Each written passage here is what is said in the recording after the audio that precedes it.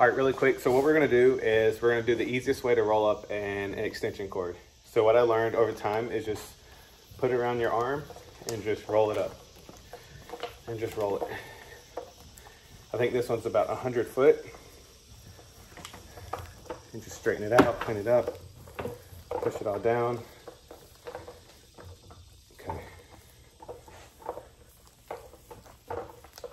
Boom, boom.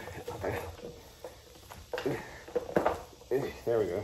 Sometimes they get stuck and you just have to unwind them and then keep rolling, keep rolling. Okay.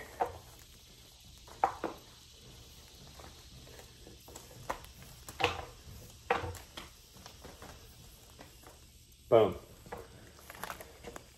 Thank you guys for watching. Joshua just does it. Peace.